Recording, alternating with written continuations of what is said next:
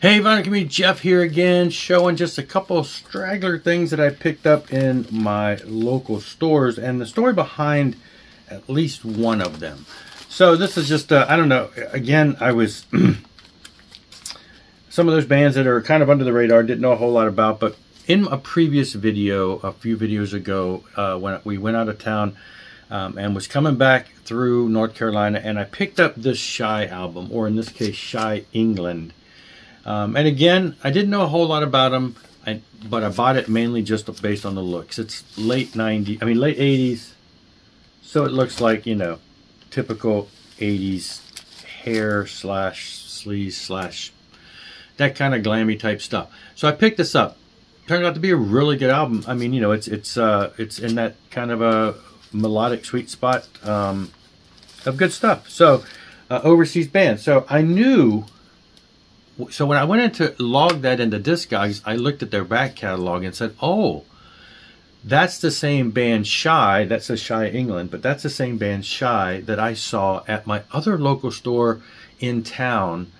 Uh, had their first album. I never bought it because it looked interesting, but it looked like a bunch of people on the front, you know, with T-shirts on, and just I was like a low budget thing. So didn't pay much attention to it, but I knew they had it there. I'd seen it." Um, and I thought, well, this is the same band. They just, you know, have gotten hair and costumes now. So I thought, well, at some point I want to go back to that store, and I didn't make it there the week after we got back. And anyway, so I was like, well, eventually I'll make it down there. I'm sure nobody bought it, but it's there.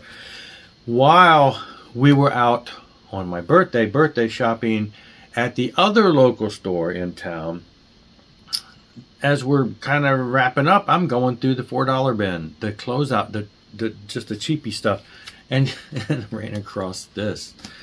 Another album by Shy, Excess All Areas. So um, this is the album before that one. So they changed to Shy England by that point. This is when they were just Shy. They're on RCA Records. And also I realized I, when I went back after a while and looked at it, the singer, Tony Mills, has went on to do quite a few other bands. But he spent about half, I don't know, five, half a dozen years or so in TNT in the 2000s era. So there's a handful of albums there in the years, in the 2000 years, where he's the singer. So Tony Mills, if you're familiar with him, he's done some other bands uh, that are of less notoriety as far as, you know, that I know. So, but yeah, so I was like, interesting. So this kind of reminded me, I need to go back to that other local record store to see that other album. Um, but this one was in the cutout bin, or not cutout bin, just the markdown bin um, for four dollars. I thought, well, that's cool. I would grab that. Well, that of course burned me on to push to get back on the other side of town, and so we went ahead later that day to the other side of town, and they sure enough had that. Now I looked this album up, and I was like, wow, if I tried to order it online, the cheapest one in the U.S. was like forty dollars. It's not been released in the U.S. This is a UK issue only and it's only been released on you know one vinyl pressing and then a couple CD versions that came out later. So even that, I mean, you know how there's some other country versions, there's other pressing plant versions, multiple versions. There's just one version. It's on Ebony Records, and anyway, I'm like, well, I'm not paying 40 bucks for it, so I don't know how much it's going to be at my local store, but if it's more than 20, I probably am going to question whether I'm going to buy it or not because you know it's a novelty, but it's not something that I have to have. Uh, so I went down there and I flipped through right where I remember seeing it in the section it was, and there it was. And see, this is what I was talking about. See, the guys, it just looks like a garage band. They just they got uh, t-shirts and stuff, and you know, even though the singer does have some makeup or something on there, you can see in later albums they really you know glam up the image more. Um, yeah, so I I kind of looked at it and thought this is cool, but it didn't tell me a whole lot about the band and then coming apart. But anyway, so, and the vinyl was in really good condition and it was under $20. And so I thought, okay, I'm going to go ahead and get it. So that gives me the first, third, and fourth album by this band, Shy, leaving me on the hunt for the second album. And they do have some albums beyond that. Shy went on to do handful of albums into the 90s. And then, like I said, then the singer and people went on to do other bands and other projects. So, so that was cool. That was kind of my own little birthday purchase while I was there. While I'm continuing looking uh, at the other store, continuing looking through the four dollar bin, I found the first, second, second Rubicon album. Um, I have the first. Rubicon has two albums. They had like one big hit back in the day, like in '78 or so, um, and then they only put two albums out and then fizzled. If you're not familiar with Rubicon, you might recognize a couple faces there. Uh, right there in the middle with the glasses is Jack Blades of Night Ranger, and then right, oh, two people over in the red is uh, Brad Gillis of Night Ranger. So this is the band that the two of them were in before later in the 80s moving over and forming or being a part of the uh, Night Ranger group fame.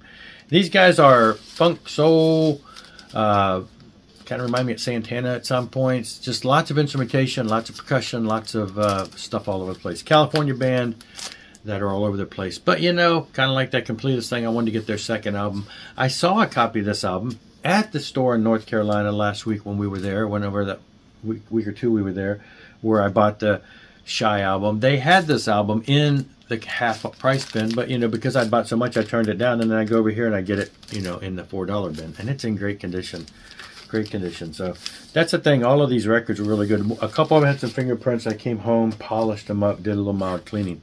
Now, while I was at the other local store to get the first Shy album, I kept flipping and I found some other things of interest for just, on you know, in the $10 range. Tonio K, uh, Romeo Unchained in the shrink, but the shrink, it's opened, but it's got the uh, hype sticker, JC. See that? Anyway, I had this album, 1986, What Records, uh, Tonio K. Uh, I don't know a whole lot about his history. I bought one of his earlier albums at that same store I got this one. I bought one of the, his earlier albums from the 70s, I think it was, or maybe it was from the very early 80s. And I didn't like it as much. I had this album in 1986, really liked it. It's a little more commercial, a little more on the poppy side, um, kind of quirky at times, and stuff along that line. So when I saw this, I grabbed it. I had this on CD at one point, but I think I gave it to somebody or let it go. Um, Singer songwriter type guy, fun stuff. And uh, you you know, he's I don't know how much of a splash he made. He had another album after this about uh, something about lost civilization or something. So I'm on the lookout for that one. But the ones prior to this, it just seems like at least the pieces I've heard I didn't like as much. So um, anyway, I picked up Tonio K. That was an excellent condition. And then I found a copy of Girlschool Hit and Run. So again, this one was not too expensive and it was in really great condition. This one had some fingerprints and I it polished right up perfectly. This is the Stiff Records edition. There were a couple of versions out there, a couple different labels, and this is the uh, the U.S. version. So, yeah, found that in the same bin with the other Shy thing, so went ahead and grabbed that.